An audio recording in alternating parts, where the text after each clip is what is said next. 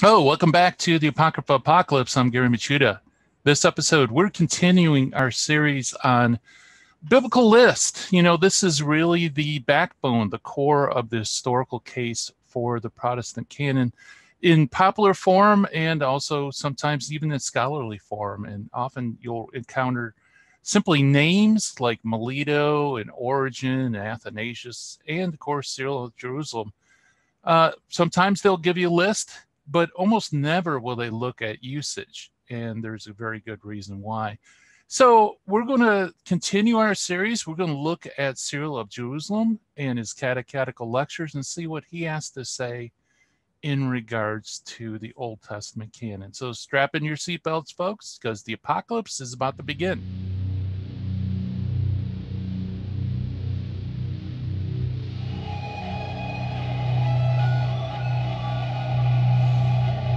Okay, so let's dive into Cyril of Jerusalem. And it's really important if you haven't checked out the last two videos we did with Athanasius of Alexandria, you definitely need to review that because Athanasius has often said that he rejected the Deuterocanon because he didn't include it amongst uh, this category called those that are canonized. But what's often missed is that Athanasius is actually using a threefold division within religious literature. And the fact that he put the Deuterocanon, except for Baruch, in the middle category doesn't show a rejection, but rather it shows that he's making a distinction between the books that can be used to evangelize godly teaching and those that are to be used in house for catechesis and uh, Christian doctrine. And of course, that fits perfectly with how he uses these books everywhere else. We have a similar thing going on here with Cyril of Jerusalem, and we'll we'll talk about that. We'll go through the list in a second. But like Athanasius, Cyril of Jerusalem also uses the Deuterocanon in a way that is completely compatible with the Protocanon. In fact, he often cites the Deuterocanon and the Protocanon together with no distinction or qualification. He uses it in some very important ways. And although the surviving documents we have from Cyril of Jerusalem is much, much smaller than what we have from Athanasius, nevertheless, the little bit that we get shows that he too accepted these books. In fact, he adduces them in the very catechetical lectures that he produces this list. And that brings up that tension that I mentioned in the introduction that uh, for Protestants who want to take this list in isolation and claim that he's making only these books are inspired scripture, only these books are canonical scripture, and everything else is excluded or rejected, that causes a big problem because how could he reject these books as apocrypha and yet use those very same books for instruction for catechumens? Well, let's go into it. And the best place to start would be to go to the fourth catechetical lecture. And let's read some of the surrounding context and look at Cyril Jerusalem's list, shall we? All right. Okay, starting in paragraph 33, it says, quote, the teaching you have heard is that of divinely inspired scriptures, both of the Old and the New Testament. For there is one God of the two testaments who foretold in the Old Testament the Christ who appeared in the New, and who, through the preparatory school of the law and the prophets, led us to Christ. For before faith came, we were guarded under the law, and the law trained us for Christ's school. And so, if ever you hear any heretic blaspheming the law and the prophets, quote that saving word against them. Jesus came not to destroy the law, but to fulfill it. Be eager to learn and from the church what are the books of the Old Testament, what of the New, and I pray you, read none of the apocryphal books. For why should you, when you do not know the books acknowledged by all, trouble yourself needlessly with those whose authenticity is disputed? Read the divine scriptures, these 22 books of the Old Testament, translated by the 72 interpreters. This, of course, is a reference to the Greek Septuagint, which is a pre Christian Jewish translation of the Old Testament. And it's also the primary text that the New Testament draws from. And it's also the text that the church in the East used as its scripture. And in paragraph 34, Cyril of Jerusalem goes into some of the legendary accounts of the miraculous translation of the Greek Septuagint. And then in paragraph 35, he begins his list by saying, Of these, read 22 books and have nothing to do with the apocryphal writings. Study earnestly only those books which we read openly in church. For far wiser and more devout than yourself were the apostles and the ancient bishops, the rulers of the church, who handed down these books. Therefore, since you are a child of the church, do not transgress her ordinances. Of the Old Testament, then, it has been said, study these 22 books, and if you are eager to learn, strive to fix them by name in your memory as I enumerate them for the law of the books of Moses are the first five Genesis, Exodus, Leviticus, Numbers, Deuteronomy. And then he continues to list the proto canon up to Jeremiah, where he says, Of Jeremiah, with Baruch, the Lamentations, and the Epistle, one, the Ezekiel, and the book of Daniel, the 22nd of the Old Testament. Of the New Testament, there are only four Gospels, for the rest are not genuine and are harmful. The Manichaeans, who also wrote a gospel according to Thomas, which through the spurious odor of sanctity conferred by its title corrupts simple folk, received the Acts of the Apostles, in addition the seven Catholic epistles of James, Peter, John, and Jude, then as a seal upon all of them, and the last work of the disciples, the 14 epistles of St. Paul. But let all the rest be put in the second. And whatever books are not read in the churches, read not by yourself in accordance with what you have been told thus far concerning these matters. Unquote. So, as you can see here, Cyril of Jerusalem's list has a lot of affinity with Athanasius' list. First, and most important, Cyril of Jerusalem does not use the same modern binary that we do today in terms of religious literature.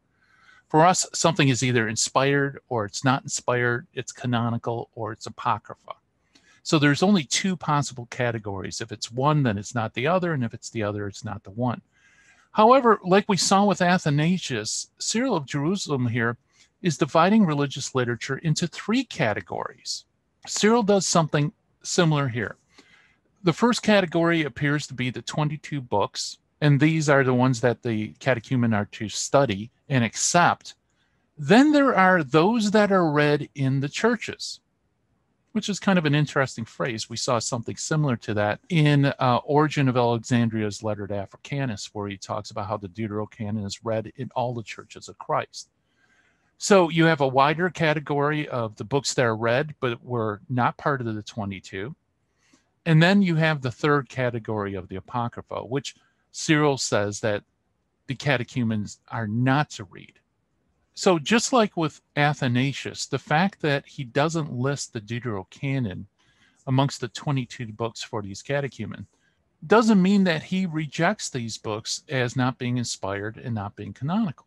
Rather, they make up this middle category of the books that are read in the churches, and the catechumen are allowed to read it. Now, the very fact that Cyril of Jerusalem uses the Deuterocanon in these very same lectures shows that he did not include them among the Apocrypha. And since they're not listed amongst the 22 books that he explicitly lists, except for Baruch, um, therefore they fit within the books that are read in the churches that the catechumens are supposed to read. But as he says he should they should put them in second rank. The first rank should be the 22 now someone may say ah well see that shows the superiority of the 22 books but why does he single out the 22 books that's really the next question now instead of somebody posing their own point of view on Cyril Jerusalem, like saying that they're superior, that somehow they're truly scripture or something like that.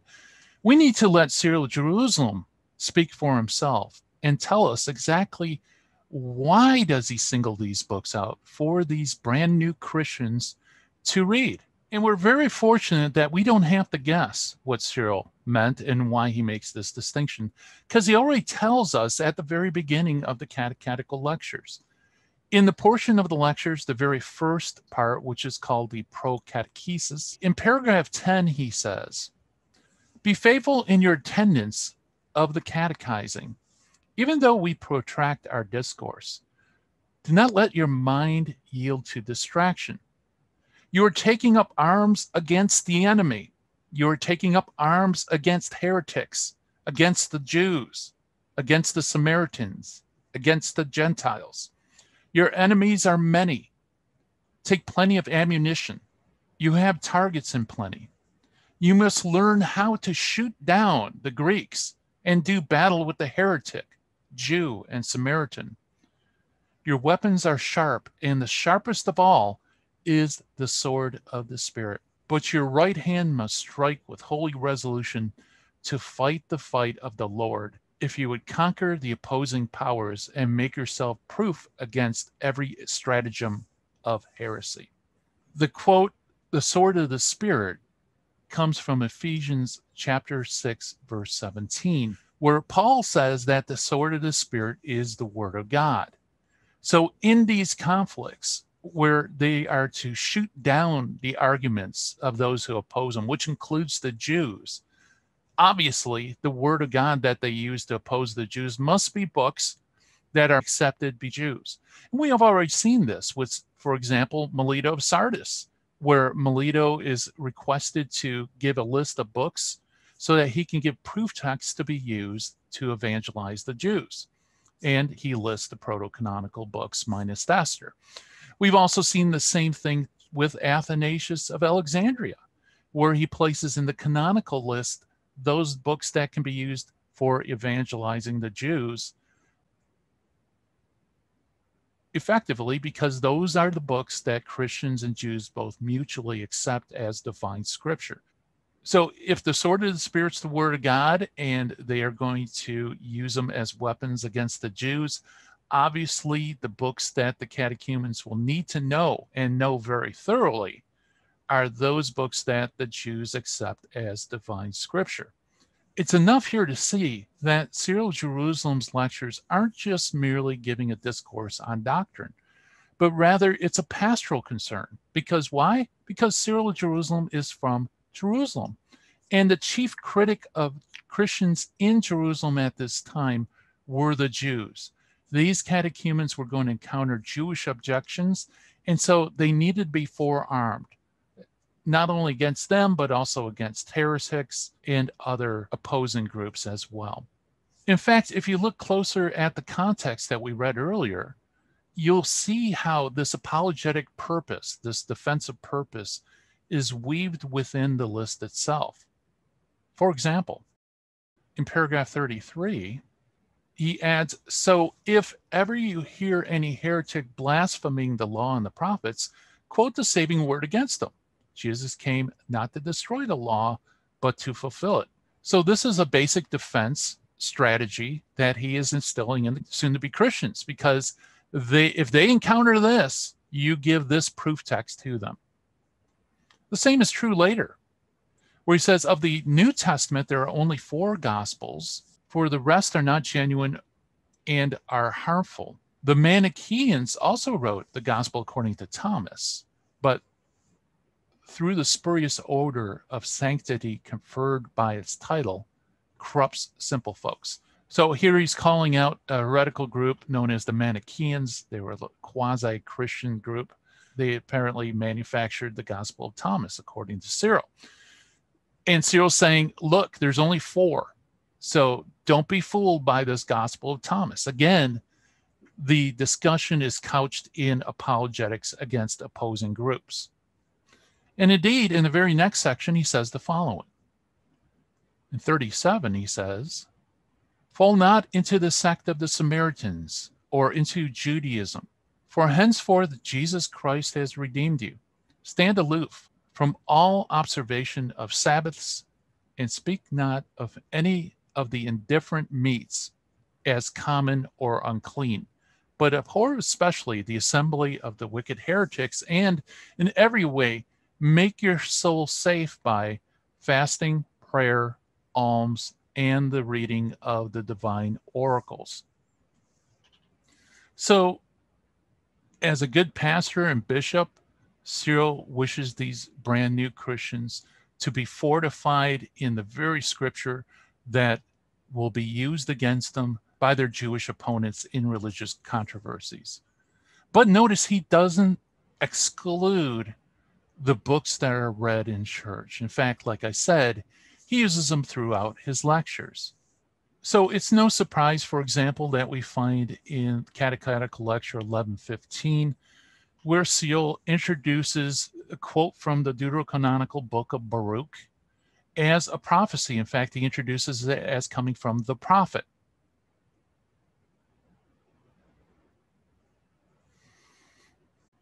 He also uses it in some very substantial ways elsewhere. For example, in Lecture 6 4, Cyril Jerusalem cites Sirach 3 21 through 22 concerning the incomprehensibility of God.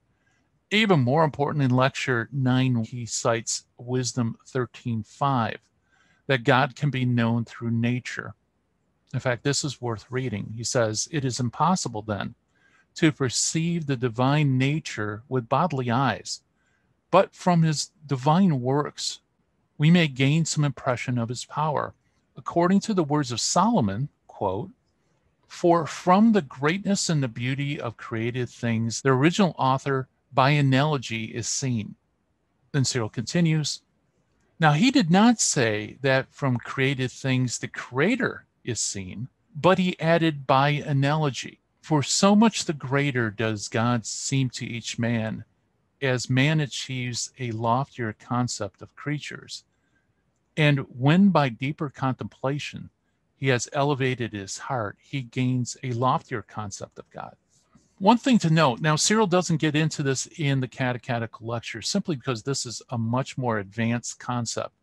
But what I think he's doing is he's using Wisdom 13.5 to emphasize a point that if they encounter the Arians, they can use to their advantage.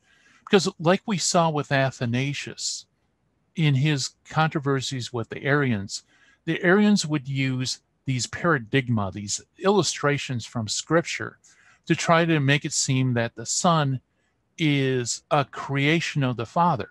And so they'll use things like begat or the word or breath or something like that and they'll say there was a time where the father was not with the son then the son came and then uh, so the son is not consubstantial with the father.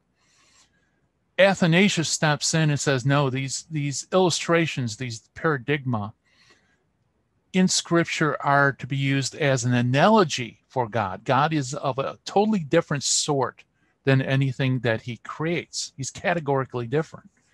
And so you can't take these illustrations and make a one to one comparison with God.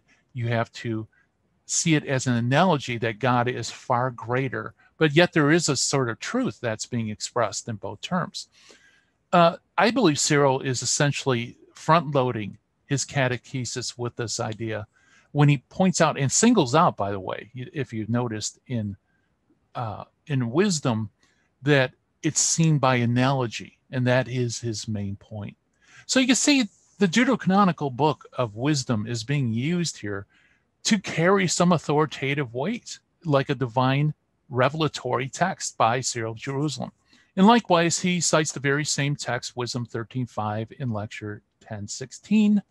He also quotes wisdom in lecture 12.5 to explain that through the envy of the devil that sin entered into the world.